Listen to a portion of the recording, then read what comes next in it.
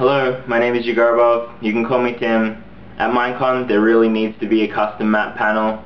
I have a script here that I was going to read off. It was talking about my adventure map. Got really high marks from tough reviewers like rsmalec and Cynthian. Every time I tried to read off that and talk about my YouTube channel where I build custom map videos to help improve people's custom maps, I would read it, I would get confused, so I'm just going to talk to you. I think custom maps are a really good way to improve the, lo the longevity of Minecraft. Once the sheen of mining is gone, once the sheen of exploring all you can explore, the randomly generated stuff, it's amazing. But once all that is done, it's the people that are building custom maps for you to explore with stories and amazing epic landscapes and that sort of thing is what's going to keep the game going.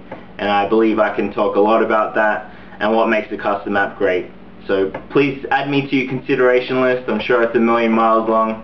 And uh, if this video doesn't work, I have diamonds. I'm willing to give them. yeah, just another thing that I had on there please consider me Jigarbov.